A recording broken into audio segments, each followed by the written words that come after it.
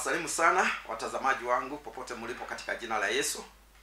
Tunamshukuru Mungu ya kwamba ametuwezesha tena kuona siku ya leo na kuweza kuendelea pia na masomo yetu ambayo tumekuwa nao kwa kipindi, na tunashukuru Mungu ya kwamba ametusaidia na mahala tumefika, tumeona Bwana. Ninaamini hata nanyi watazamaji wetu popote mlipo mnaendelea kupokea ujumbe huu na pia mmeendelea kupokea baraka za Mungu. Tungetaka pia kupata feedback kutoka kwenu, kuelewa kama ujumbe huu unawasaidia na unawasaidia jinsi gani, na kama jinsi mnaweza kuadjust maisha yenu na kuweza kufanya uamuzi ambao unastahili, kwa sababu tulisema mwanzo huu wa mwaka ningetaka kuleta mafundisho ambayo itatusaidia kuweza kufanya mpango mzuri tunapoendelea na shughuli zetu za kila siku, na ili tuweze kumweka Mungu wetu mbele. Tunaelewa kwamba tangu Januari ama kabla ya kuruka mwaka, tangu that first tumekuwa tukizungumzia habari ya uamuzi wa yale tungetaka yafanyike mwaka huu, na tukasema kwamba tutaki kufanya tukiwa peke yetu, kwa sababu tumefanya mambo mengi ambayo tumeshindwa kufanya na kuyatekeleza tukiwa peke yetu, kwa sababu ya kumfungia Mungu nje. Chochote ambacho tunafanya nje ya Mungu hakiwezi kufaulu, na kwa sababu Mungu ndiye muumba wetu na alituumba akiwa na kusudi, tunapokosa kumshirikisha maisha yetu ili akaweza kutuongoza katika yale ambayo tunatenda, hatutaweza kufanya vyema na tutaishi maisha ambayo ni ya kujuta. Na tumekuwa tukiendelea na ujumbe ambao unaitwa ombi la Musa ambao tumekuwa tukiutazama katika kitabu cha Kutoka 33. Tumekuwa tukishughulikia mstari wa 12, 13 na 14, jinsi ambavyo Musa mwenyewe katika uh, ministry ambao alikuwa amepewa na Mungu ama mandate ama assignment ambao alikuwa amepewa na Mungu, alifika mahala akasema hataki kujiongoza, anataka Mungu amhakikishia kwamba ako pamoja naye, na kwa hivyo aliweza kusimamisha ombi mbele za Mungu ili kuhakikisha kwamba Mungu ako pamoja naye na atamwezesha. Na katika lile ombi tumekuwa tukilifuatilia, tumekuwa tukiona mambo ya muhimu ambayo inaweza kutusaidia hata katika uamuzi wetu katika mwaka huu. Tunajua Musa alikuwa ni mtumishi wa Mungu, Mungu amemtolea ushuhuda na amesema vizuri sana ya kwamba kati ya watu wengine wote wale watu wengine Mungu anajionyesha kwao kwa maono na ndoto, lakini anasema kwamba kupitia kwa mtumishi wake Musa anaweza kujionyesha kwake uso kwa uso, na kwa hivyo ni mtu ambaye tunaweza kabisa kutegemea hata uombezi wake, sababu kabisa alimtamani Mungu, na hii ni kwa sababu ya training ya muda mrefu, sababu Musa alifundishwa na Mungu mambo ya Mungu hata kabla hajaitwa na kuonyeshwa ni nini aliitiwa kufanya. Miaka nyingi sana, hata bila yeye kujua kwamba Mungu alikuwa anamtayarisha. Miaka themanini miaka arobaini akiwa kwa Farao na miaka ingine arobaini akiwa kule jangwani akiwa mchungaji, na haya yote yalikuwa na kusudi la Bwana, kwa sababu mwishowe Mungu alitaka kumwonyesha destiny, hatima yake na yale ambao alikuwa amemwitia Na hivyo ndivyo ilivyo pia katika maisha yetu. Tunaweza kuwa tangu tulipoko tulipozaliwa, tulipokuja katika dunia hii, miaka imesonga, tumekutana na changamoto nyingi, majaribu nyingi, vita nyingi tumekuwa tukiuliza na tukilia tukiuliza Mungu maswali mengi, kwa nini Mungu mambo haya yote yametupata na hatujapata jawabu? Inawezekana wewe pia kama Musa umekuwa katika ile hali ya mafundisho, katika hali ya matayarisho kabla Mungu hajakuita ili sasa aweze kukuonyesha ni nini alikuitia. Na unaona kwamba wakati sasa ulipofika Mungu kutaka kunena na Musa, alijionyesha kwa ishara kwa ajili ya kuteketeza kichaka Alafu sasa Moses alipoona kichaka kinateketea lakini akiungui, akataka kutazama kutazama ni nini, na ni wakati alipokaribia, Mungu akamwambia Musa, sasa vua viatu vyako, umesimama mahali patakatifu, sasa nataka ninene na wewe. Kwa hivyo bado Mungu anakugojea ufike mahala pako ambapo ni mahali ambapo patakatifu, mahala ambapo Mungu anaweza kunena na wewe ili akuzungumzie na akueleze amekuitia nini. Kwa hivyo ukifuata mambo ya Musa utaona jinsi sasa wakati alipofikia pale sasa katika Kutoka tatu unaona sasa Mungu alimzungumzia na akamweleza kwa nini alimchagua, kwa nini sasa anataka aende kwa Farao akaokoe watu wa Israeli. Na ni kwa sababu hiyo tunapozungumzia habari ya ombi la Musa, tunaona ombi lile linatufaa sisi zote, kwa sababu zote ambao tuko katika dunia hii tuko kwa makusudi ya Bwana, lakini labda hatujafika mahala ambapo Mungu anaweza kutunenea ili tusikie sauti yake. Na kwa hivyo Musa alisikia sauti ya Mungu katika kile kichaka. So tukaendelea katika lile ombi. Wacha nisome vile ambavyo ombi la Musa liko katika mstari wa kumi na mbili kitabu cha Kutoka 33 12 hadi 14. Inasema ya kwamba Musa akamwambia Bwana, angalia, wewe waniambia wachukue watu hawa, nawe hukunijulisha ni nani utakayesimama pamoja nami. utakayemtuma pamoja nami. Walakini umesema na kujua jina lako nawe umepata neema mbele zangu. Kumi na tatu basi sasa nakuomba ikiwa nimepata neema mbele zako unionyeshe njia zako nipate kukujua ili nipate neema mbele zako. Ukakumbuke watu kuwa taifa hilo ndilo watu wako akasema uso wangu utakwenda pamoja nawe nami nitakupa raha. Alafu kumi na tano akasema naye akamwambia uso wako usipokwenda pamoja nasi usituchukue kutoka hapa. Mstari huo wa kumi na tano ndio tumekuwa tukizungumzia. Musa alipohakikishiwa na mungu aliendelea tena kumuuliza mungu kama uso wako hautaenda pamoja nami na tulisema kwamba uso wa mungu unamaanisha uwepo wa mungu katika maisha ya mwanadamu wakati mungu ananena nawe uso kwa uso unapomhitaji yako tayari kukuzungumzia na kuelekeza kwa hivyo tunahitaji uso wa mungu. Tunahitaji mahala ambapo tunasikia sauti ya mungu ikitunenea. Na kwa hivyo musa anamwambia kama uso wako hutaenda pamoja nami usituchukue usikubali tuendelee na hii safari. Na hiyo ndio tumekuwa tukizungumza ya kwamba huwa tunaanza mwanzo wa mwaka tunaendelea na shughuli nyingi katika mwaka tukipanga mipango mingi na hatuna uhakika mungu ametuhakikishia yako pamoja nasi. Na mwishowe tutakapomaliza tunakuja kujuta. Na ni kwa sababu hiyo basi ombi la musa likawa ni relevant kwa kila mmoja wetu na kwa hivyo katika haya mambo manne ama matano ambayo moses aliomba sasa tuliweza kuzungumzia wiki iliyopita kuhusu eneo la kwanza ya kwamba nionyeshe njia zako. Wiki iliyopita tulikuwa tunazungumza habari ya njia kujua njia. Njia ina maana gani? Njia inatusaidia nini? Na kwa hivyo tukasema kwamba kila mmoja wetu hata katika maisha haya unaposema unataka kusafiri kwenda katika nchi yeyote kwenda katika mji fulani ama mahala ambapo hujawahi kwenda hapo awali ni lazima utaulizia njia. Tunasema pia kwamba katika dunia hii siku hizi kuna utaalamu. Kama unataka kwenda mahala ambapo hujui na unaendesha gari unaweza tu kuingia katika google map alafu sasa katika google map unaenda GP, gps alafu inakuelekeza mpaka mahala ambapo unahitaji. Kwa hivyo unaona mambo ya njia. Ya mahali mtu ambaye anaenda ni ya muhimu sana sana. Njia ni ya muhimu sana kwa sababu watu wengi ambao wanafanya mambo bila kupitia kwa njia ambayo inastahili wanapotea na hapo ndipo tunaona ya kwamba kunakuwa na hasara kubwa. Kwa hivyo ombi la kwanza ni la muhimu sana nionyeshe njia zako. Na tukasema wiki iliyopita ya kwamba tunapozungumza kwa nini tunahitaji njia za mungu? Kwa nini tunahitaji kuongozwa katika njia za mungu? Tuweza kuona katika maandiko katika madhao saba kuanzia kumi na tatu na kumi na nne tulielezwa kwamba kuna njia za aina mbili. Kuna njia nyembamba ambayo ni the wider road ambayo inaingiza watu katika uharibifu. Na kuna ile njia pana the narrow road ambayo inaingiza watu katika uzimani. Tukasikia pia kuna mlango mpana na kuna mlango mwembaba kwa hivyo ile njia pana na mlango mpana hiyo ndiyo njia tuliona kwamba watu wengi wanaipitia na wanapopitia hiyo na hiyo ndiyo tulisema ni ile njia majority ya wingi kutaka kujua opinion ya watu watu wengi wanasema nini na hiyo tumezoezwa katika dunia hii na maisha hapa duniani na elimu hapa duniani inatusaidia kwamba tunataka kufanya kile kitu ambacho watu wengi wanafanya. Lakini tukaambiwa na neno la mungu la kwamba si lazima hiyo njia iwe ni njia ya mungu na si lazima hiyo njia ama pendekezo la watu wengi liwe ndilo pendekezo lake mungu. Na kwa hivyo tukaambiwa kwamba ni lazima mtu achague kama atapitia kwenye njia pana ama atapitia hiyo njia ambayo ni panda mlango mwebaba ama mlango ambao ni mlango mpana sasa tukasikia kwamba kuna kitu kinaitwa choice. Na tulipokuwa pia tukizungumzia hii pale tukasoma katika medhali kumi na nne kumi na mbili tukasikia kwamba kuna njia ambayo inaonekana ni sawa machoni pa mwanadamu lakini mwisho wake ni uharibifu. Kwa hivyo ndio tukasema kwamba si lazima tutegemee na tuamini njia zetu. Unaweza kujiamini sana uone kama wee ni mwerevu uone kama wee ni mjaja sana una hekima umesoma na ufikiri ya kwamba chochote ambacho unafanya kitakuwa ni sawa. Lakini mtazamo wa mungu na mtazamo wa mwanadamu ni tofauti. Na ni jambo la muhimu sana kujua kabisa kwamba yale yote ambayo unafanya unafanya umpendeze nani? Je unataka ifae nani? Kwa hivyo chochote ambacho tunafanya kama akimpendezi mungu hakipiti ile kipimo ya mungu lazima tuelewa kwamba sio sawa.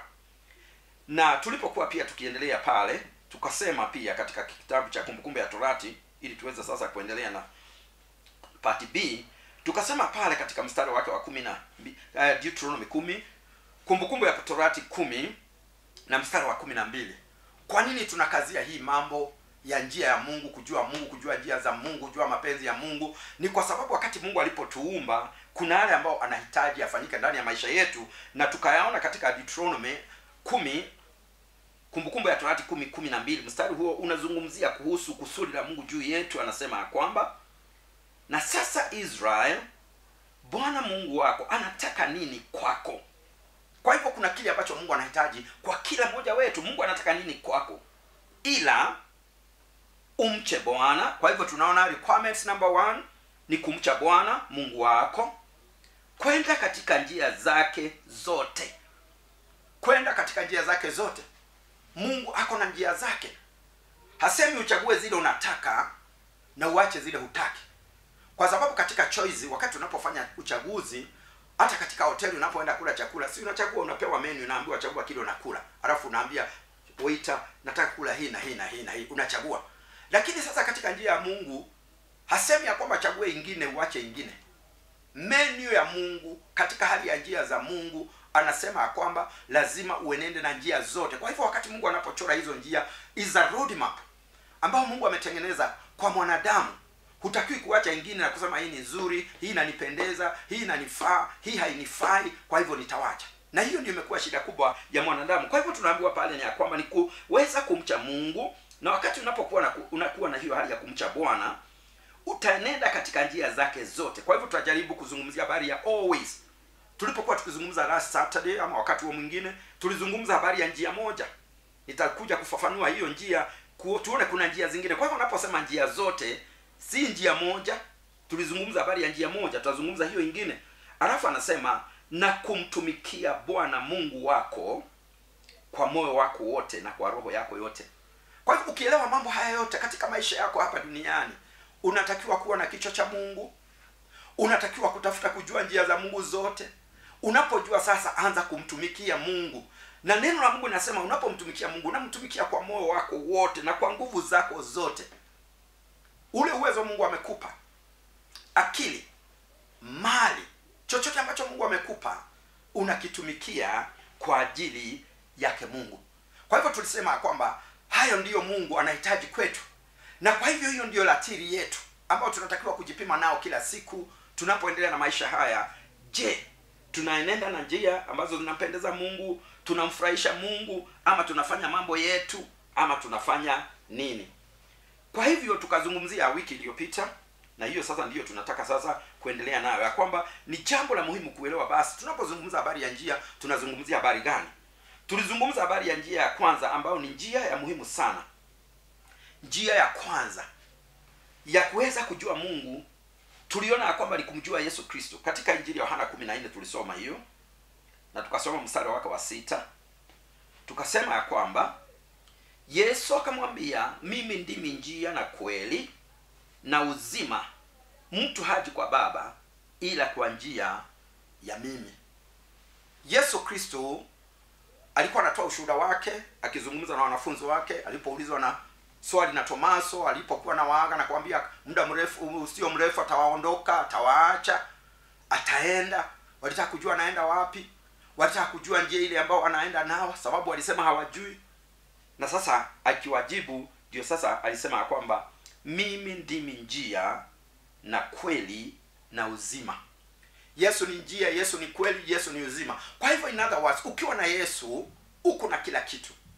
Ukamilifu wa mungu wakati mungu anaposema tujue njia zake zote kujua njia zote za mungu hatuwezi kuzijua kwa njia zingine. Ndiposa alimtoa yesu ambaye alikuwa mbinguni ashuke hapa duniani mtu ambaye anajua njia ndiye peke yake anaweza kuongoza. Huwezi kwenda kwa mtu ambaye hajui njia na hajapitia kwenye njia. Muulize ati nataka kwenda nairobi. Njia nairobi ni gani kati ya hizi njia mbili? Atakwambia mi sijawahi kwenda nairobi kwa hivyo hata sijui njia nairobi ni gani. Huwezi kwenda kwa mtu ambaye hajui njia umuulize njia. Kwa hivyo yesu alitoka mbinguni na yeye ni mungu. Alikaa pamoja na mungu. Alijua mpango wa mungu sababu katika maumbile tulikuwa tumekuwa tukizungumzia haya mambo sana ya kwamba mwanzo wa maumbile wakati mungu alipoumba mbingu na nchi hakuwa peke yake. Katika utatu wake mungu baba mungu mwana mungu roho mtakatifu walikuwa pamoja katika ile kamati yao. Na mungu akasema ulipofika wakati wa kumuumba mtu na tumuumbe mtu kwa mfano wetu na kwa sura yetu. That is genesis 1 mwanzo moja ishiri na sita na ishiri na saba. Mungu asema na mungu akamuumba mtu kwa muundo you know, kwa njia yake akamuumba mtu kwa mfano wake na kwa sura yake. Why then kwa nini mungu alimuumba mtu kwa mfano wake na kwa sura yake? Kwa sababu alikuwa na makusudi. Na tunaona sasa kusudi la mungu katika deuteronomy ina summarize inatupa kwa kifupi makusudi ya mungu na ni kwa nini mungu anataka tuweze kutenda haya mambo matatu ambayo ametuelezea hivyo. Kwa hivyo ili sasa tuweze kutekeleza hayo ni lazima kwanza tujue njia na tukasema ya kwamba ombi la moses nambari moja ilikuwa ni nijue njia zako. Na njia ya mungu sio moja tumesikia ni njia nyingi na kwa hivyo tukaanza na ile ambayo ni ya muhimu zaidi ambayo inapita njia zingine zote ambayo inaitwa njia ya uzimani. Na hiyo njia ya uzimani ndiyo tulizungumzia wakati huo mwingine tukasema ni njia ambayo ni njia panda haina watu wengi. Tukasikia mlango wake wa kuingia ni mlango mwembamba sio mlango mpana. Na tukasikia kwamba hiyo ina watu wachache. Na kwa hivyo tunaposema njia ya yesu yesu ndiye njia inamaanisha nini? Inamaanisha habari ya kumkubali yesu kama bwana na mwokozi alikuja kufanya nini yesu kristo hapa duniani? Ushuhuda wake wa kuja alisema nalikuja kutafuta na kuokoa kile kilipotea. Yesu alikuja kuweza kumrejesha mwanadamu katika njia ya mungu sababu mwanadamu alipotea. Alipoondoka katika ile njia mungu alimwacha katika bustani ya eden na akampa maagizo yale yote ambayo alimpa. Alafu akaja akadanganywa na shetani akawacha njia ya mungu akapotea akafukuzwa katika bustani ya eden na ni kutoka hapo sasa miaka nyingi sasa adam na uzao wake ambao ulikuwa ni uzao sasa ulikuwa na uasi mbegu ya uasi ilipandwa ndani ya mwanadamu kwa sababu wazazi wetu waliasi mungu wakatengwa na mungu wakakosa ushirika pamoja na mungu na mungu alikuwa ameumba mwanadamu kwa ajili ya ushirika. Ni kwa sababu hiyo basi tunaona kwamba adamu alipotengwa na mungu alileta uzao ambao haumjui mungu kwa hivyo kizazi ambacho kilizaliwa na adam na eve sababu kilikuwa ni kizazi akina mungu sababu adam aliteswa na alitengwa na mungu wakajiongoza kwa njia zao. Mpaka wakati ambapo mungu mwenyewe alipotaka kumfikia huyu mwanadamu na kumrejesha katika mpango wake wa kwanza. Na hapo ndipo sasa alimtuma yesu kristo kuja kutafuta na kuokoa ili aweze kumrejesha mwanadamu katika mahala pake. Na kwa hivyo kupitia kwa njia ya yesu kristo wakati unapomwamini yesu kristo kuwa bwana mwokozi wa maisha yako sasa unapata kitu kinaitwa uzima wa milele. Uzima huo wa milele inakuwa ni garanti ya kwamba wakati utakapoishi katika maisha haya utakapokufa kuna uzima mwingine. Maisha ambayo ni ya milele na hiyo tulisema ni maisha ya kuishi pamoja na mungu. Sitaki kuzungumzia hiyo sana sababu nizungumza wakati huo mwingine. Kwa hivyo tukasema jesus is the way. And is not only the way he's the only way yesu ndiye njia peke yake ya kwenda kwa baba na ndiposa akasema ya kwamba hakuna mtu atakayefika kwa baba asipopitia ndani yangu. Hiyo sasa ni kuhusu njia ya uzima wa milele maisha ya baadaye baada ya kutoka katika ulimwengu huu. Kwa hivyo ni lazima mtu amjue yesu aingie katika huo mlango wa wokovu. Mlango ni wokovu. Watu wengi wameingia katika mlango unaitwa dini wamekataa wokovu mlango wa wokovu na kwa sababu ya kukataa wokovu ambao ni mlango mwembamba ambao watu wachache ndio wanataka na tulisema ni kwa sababu ya kusacrifice ni maisha ya kujitenga ya kujinyima na mambo kama haya wengi hawataki hiyo maisha. Wanataka ile maisha ya furaha na ya anasa. Kwa hivyo tukaambiwa that is the only way. Njia ni hiyo hiyo tu ya kwenda kwa baba. Na mungu anaposema njia ni hiyo hiyo hajabadilika. Neno la mungu halibadiliki. Neno la mungu limekuwa settled kule mbinguni. Hiyo ni njia moja njia ya uzimani njia ya kuishi pamoja na mungu katika uzima wa milele katika zamani zijazo wakati mtu anapoondoka katika maisha haya. Kama hamjui yesu tunasikia kabisa ya kwamba anaenda katika uharibifu. Kama mtu anamjua yesu ataenda katika njia ya uzima wa milele. Hiyo takuja kuifafanua zaidi lakini kwa sasa tunazungumza habari ya njia. Kwa hivyo hiyo ni njia moja njia ya uzimani njia ya maisha baadaye. Wacha tuzungumze kuhusu sasa njia ya mungu wakati tunapoishi kabla hatujafa. Tunatakiwa kufanya nini kila siku kila siku katika maisha yetu tunapoishi katika maisha yetu ya kila siku kuna ile njia ambayo mungu anataka tuishi. Kitambo tuondoke katika ulimwengu huu ili tuweze kutekeleza yale makusudi ambayo mungu alituumba kwa ajili yake. Kuna ile njia ya kila siku mwenendo wetu wa kila siku maisha yetu ya kila siku tunafanya nini na maisha yetu kila siku kuanzia januari mpaka disemba.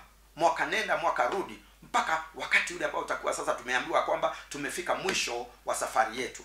The end of our destiny kwa hivyo sasa hiyo yote pia mungu ana haja nayo sana. Kile tunafanya na maisha yetu kwa sababu biblia inatueleza ya kwamba sasa sisi wakati tunapompokea yesu hatui wetu tena. Tunakuwa wa mwingine. Yesu anapokuja ndani ya maisha ya mwanadamu sasa anasemekana ya kwamba yeye ndiye bwana wa maisha yetu. Na yesu anapokuwa bwana wa maisha yako anatakiwa kukuongoza na kukuelekeza katika yale ambayo unatakiwa kufanya kila siku. Kwa hivyo sasa tunapozungumza habari ya maisha ya kila siku tunajua kwamba maisha ya kila siku inahusiana na nini? Maisha ya kila siku sinahusiana na maisha ya kila siku. Tutakula nini tutavaa nini tutalala nini miradi maisha ambayo ni ya hapa duniani tunataka kuishi maisha ya namna gani. Na kwa sababu haya yote pia neno la mungu lilikuwa limetueleza tangu mwanzo pale ya kwamba mungu ametupa uamuzi katika kumbukumbu ya torati thelathini tuliona ya kwamba mungu alisema ametupa mambo matatu ametupa uzima ameweka uzima mbele yetu ameweka kifo. Ameweka baraka mbele yetu ameweka laana mbele zetu akasema chagua. Kwa hivyo sasa katika ile hali ya uchaguzi uchaguzi wa baraka uchaguzi wa kifo ama uchaguzi wa mambo mema hapa duniani utafanya ule uchaguzi kwa njia gani? Njia ni gani ya kuchagua? Wakati tunapoenda kuchagua viongozi wetu huwa tunafundishwa. Hata wakati hujaenda kupiga kura pale unaambiwa utakapoenda utapewa makaratasi ambayo iko na majina ya watu fulani utachagua hii kwa njia ya kuweka tika ama nini nini kwa sababu ukiweka alama vibaya hiyo itakataliwa. Kwa hivyo pia katika maisha ya kila siku na majukumu yale ambayo tunatekeleza kila siku kuna ule uchaguzi. Tunatakiwa kufanya nini? Ninatakiwa kufanya nini na maisha yangu nikiamka asubuhi? Mpaka wakati itakapolala kila mwaka mpaka mwisho wa destiny yetu ambao ni kutoka katika dunia hii kuna njia ambayo inaitwa njia ya mungu njia ambayo inaitwa njia ya blessing na kuna njia ambayo ni njia ambayo inaleta majuto. Kwa hivyo tulizungumza kuna njia hizo zote na siku ya leo nataka sasa kuzungumza habari ya zile njia ambazo zitaweza kutufanikisha katika maisha haya. Watu wengi wanaposoma watu wengi wanapofanya biashara huwa wako na one idea ama wako na lengo moja kufaulu katika maisha. Hakuna mtu ambaye anataka kufaulu katika maisha kukosa kufaulu katika maisha haya tunataka kuishi maisha ambayo ni ya kufanikiwa. Lakini watu wengi hawajui jinsi ya kufaulu na jinsi ya kufanikiwa. Na tunapokuja kwa mungu tunapokuja katika neno lake bwana tunaona ya kwamba wakati yesu aliposema mimi ndimi njia mimi ndimi kweli mimi ndimi uzima. Katika hali ya ukweli yesu mwenyewe tangu mwanzo alikuwa introduce katika kitabu cha yohana ya kwamba yeye ni neno. Tangu mwanzo neno lilikuweko na neno lilikuwa na mungu na neno likafanyika mwili likaja hapa duniani kukaa pamoja nasi. Katika injili ya yohana moja ukisoma pale from verses 1 na sasa unaona kwamba lile neno sasa ni yesu. Kwa hivyo yesu ambaye ni neno na yesu ambaye ndiye ukweli unapotaka kufaulu katika maisha haya ambayo ni maisha ya mungu ya kutimiza na kutekeleza kusudi lake mungu ni lazima pia urudi kwa huyu yesu ama urudi kwa neno lake. Neno lake mungu ni kweli na ndilo linatakiwa kutuongoza. Nataka tusome andiko katika kitabu cha joshua moja ili tuweze kuona vile ambavyo biblia inazungumza habari ya kufaulu kwetu ama kufanikiwa kwetu tukiwa katika duniani. Ukitaka kufaulu katika kila kitu ambacho unataka kufanya katika dunia hii ni lazima upitie katika ile njia ambayo mungu ameweka. Katika kitabu cha joshua moja mstari wa nane kuna mengi ambayo yoshua alikuwa ameambiwa na mungu wakati aliposhika ushukani musa alipoondoka sasa joshua akashika ushukani kuwaongoza wana wa israeli kuwaingiza katika nchi ya ahadi. Na sasa akapewa maagizo na mungu jinsi ambavyo atakavyofanya na himizo kubwa ambalo alipewa na mungu ni katika mstari wa nane. Ili sasa afanikiwe na ili aweze kufaulu katika yale ambao anafanya neno la mungu linamwambia hivi verse 8 ya joshua moja. Kitabu hiki cha torati kisiondoke kinywani mwako. Mbali ya tafakari maneno yake mchana na usiku. Anapozungumza habari ya kitabu cha torati kwa wakati huo kitabu ambacho kilikuwako ni zile vitabu ambazo moses alikuwa ameandika vitabu vitano katika old testament. Na sasa mambo yote ambayo mungu alikuwa anahitaji kwa wana wa israeli yalikuwa ameandikwa pale na ndio inaitwa kitabu cha torati. Amri za mungu sheria za mungu ambazo zilitakiwa sasa kuwaongoza lakini baadaye kitabu kile kiliendelea kufafanuliwa kufafanuliwa na sasa tuko na kitu kinaitwa bible ambao sasa bible ni kitabu cha mungu ambacho kiko na old testament na kiko na new testament na yale yote ambayo sasa yameandikwa katika kile kitabu sasa ndiyo sasa neno la mungu linazungumza habari yake kwetu sisi watu wa siku zile. Kwa hivyo joshua alikuwa limited na zile vitabu tano lakini sasa sisi ni neno lote la mungu kusoma neno la mungu kusoma bibilia ili tukaweza kuelewa. Kwa hivyo anamsema kwamba kitabu hiki cha torati that is the bible. Kisiondoke kinywani mwako. Kinywani mwako ni kusema nini? Kile ambacho kimeandikwa ndicho unatakiwa kunena. Unatakiwa kunena kile ambacho kimeandikwa katika kitabu hiki. Bali yatafakari maneno yake mchana na usiku. Meditation. Kutafakari. Unajua hali ya kutafakari? Sasa hiyo nazungumzia habari ya mawazo. Unatafakari na nini? Unatafakari na mawazo. Mawazo yetu yanaumbika na yanatengenezwa na kile ambacho tunatafakari. Kile tunaruhusu kuingia katika mawazo yetu ili sasa tuweze kutafakari juu yake ili sasa tuweze sasa kutenda kile ambacho sasa tumewaza katika mawazo yetu kinatoka na mawazo yetu ni nini tumetafakari. Kwa hivyo sasa tunaambiwa kwamba mwanadamu ili akaweza kufaulu na kutekeleza yale majukumu ambayo tuliona katika kumbukumbu ya torati kumi kumi na mbili neno la mungu linatakiwa kuwa karibu na yeye katika kinywa chake kutafakari lile neno. Kwa hivyo ni lazima tuwe watu ambao ni wakusoma neno la mungu na kutafakari. Tukisoma neno tukisoma ujumbe. Kama huelewi unahakikisha kabisa kwamba sasa umeelewa. Unasoma mpaka unaelewa. Sasa unatafakari kile ambacho mungu anakuzungumzia. Ili sasa unapotafakari sasa inapokuja kutenda utatenda kile ambacho kinampendeza mungu. Ndiposa sasa anasema pale ya kwamba utatafakari maneno yake mchana na usiku. Upate kuangalia kutenda sawasawa na maneno yote yaliyoandikwa humu. Tunarudi pia katika hali ya kutenda yote. Tulisikia habari ya njia za mungu zote. Sasa tunapozungumzia habari ya neno la mungu upate kutenda yale yote ambayo yameandikwa pale. Pia pale katika uchaguzi hatujapewa choice ya kuamua kile tunataka katika neno la mungu ya kwamba neno fulani ndilo ninapenda sana. Maandiko fulani ninaposoma kifungu fulani na mara nyingi huwa tunasikia mtu akisema mimi napenda kifungu fulani huwa kinanibariki. Ni sawa sawa vifungu vyote vitatubariki. Lakini mungu anasema neno lote linatufaa. Neno lote ambalo mungu ameliandika linafaa. Ni chakula kwa mwanadamu. Neno la mungu ni mkate. Ukila neno la mungu ni chakula. Na kuna na vitamin liko na mambo yote ambayo unahitaji. Ndiposa unaambiwa kwamba upate kutenda sawasawa na maneno yote yaliyoandikwa humu. Kwa hivyo kutenda inazungumza habari ya maisha ya kila siku. Chochote ambacho unatenda kinatakiwa kupimwa na neno la mungu latiri ni neno la mungu. Je kile ambacho nimetenda kile ambacho nimesema kinaambatana na neno la mungu? Kwa hivyo kila neno ambalo tunafanya kazi yote ambayo tunafanya lazima ipimwe. Yote yaliyoandikwa humo. Maana sasa anasema ukifanya hivyo maana ndipo utakapoifanikisha njia yako. Kisha ndipo utakapostawi sana. Kwa kiingereza the last statement inasema ya kwamba for then thou shall make your way prosperous. And then you shall have good success. Prosperity and success. Kuna mafunzo mengi siku hizi kuhusu jinsi ya kufaulu na kufanikiwa jinsi ya kufaulu kufanikiwa katika maisha jinsi ya kutajirika na mambo mengi ni nini. Neno la mungu ndilo msema kweli.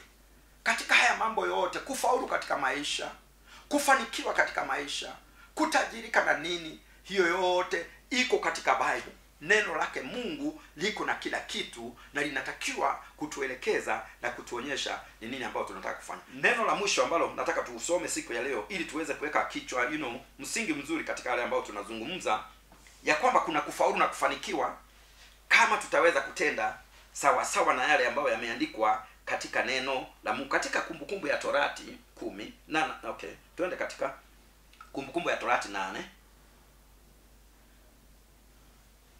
utakuja kuona kwamba ndani ya kitabu hiki ndani ya torati na ndio mungu anataka tujue ni njia gani ukitaka kufaulu njia ya kufaulu ni gani? Njia ya kutajirika ni gani? Njia ya uzimani ni gani? Kwa hivyo tumeanza na njia ya uzimani njia ya mbinguni ambayo ndio tumesema ni njia ya kuokoka. Hiyo tulimaliza.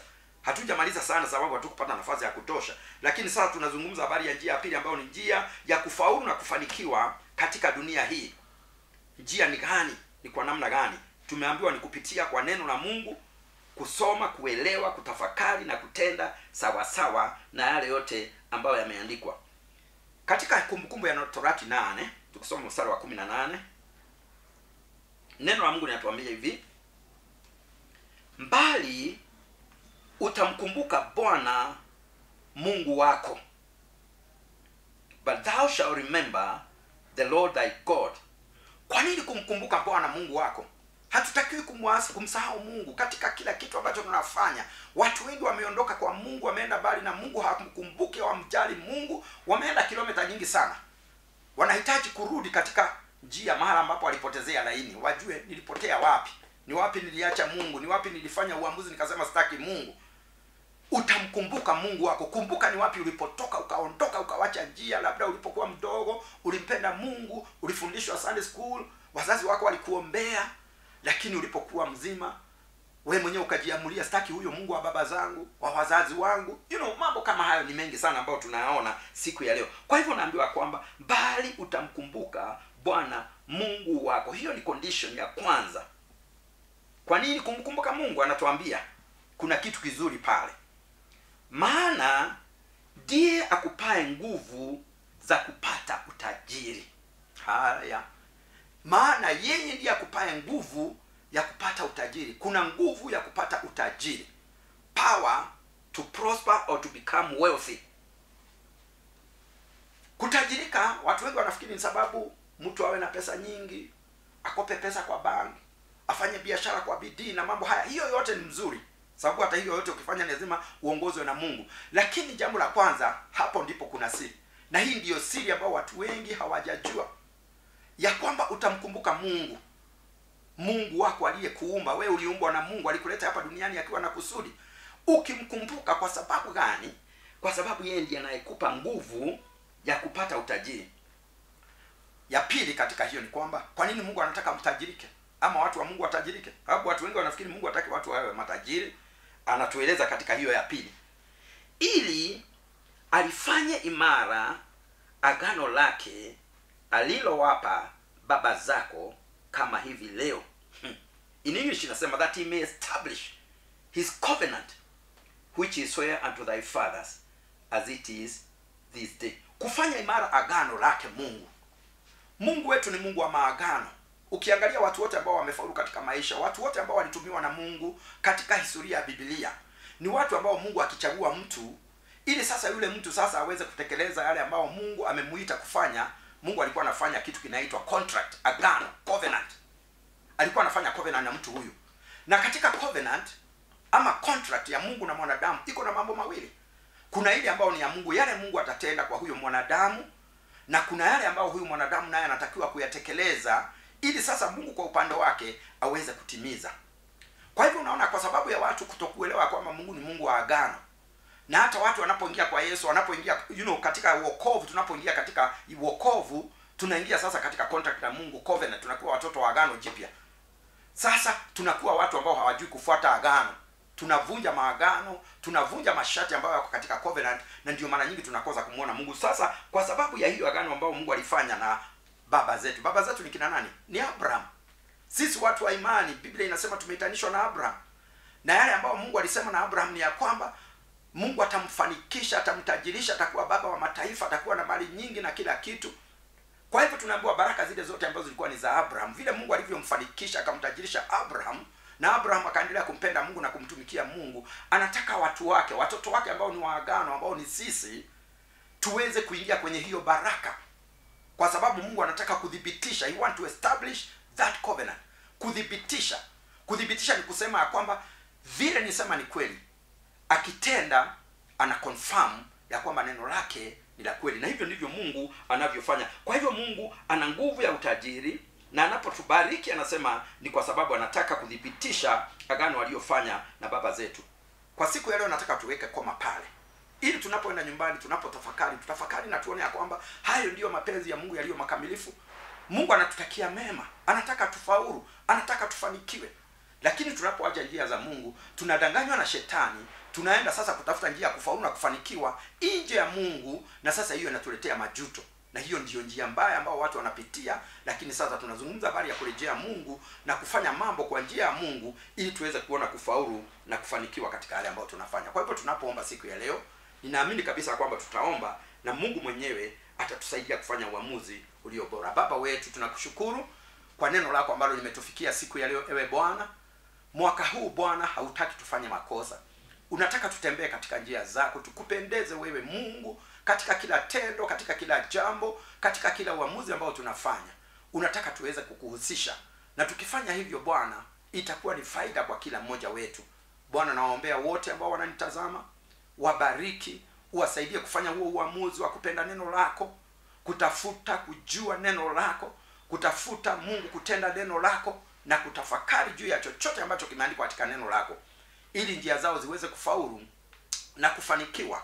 Na ili wanapotenda yale ambao umewaitia kutenda wakatenda wakiwa na uhakika ninajua kile ninatenda kimetokana na mungu. Na nikitenda nikifuata mungu nitafaulu na nitafanikiwa. Na wabariki bwana uwafanikishe katika kila jambo. Bariki taifa letu bariki kenya. Tunakushukuru kwa viongozi wetu. Wabariki wote. Wakati wa kiangazi tunazidi kuomba bwana utupe mvua. Na mungu wetu ukaweza kutoa kenya katika janga hili la ukame na Baba, ukifanya hivyo, sifa na shukurani zote ni zako, na ni katika jina la Yesu Kristo tumeomba na tumeamini, amen. Amen. Thank you.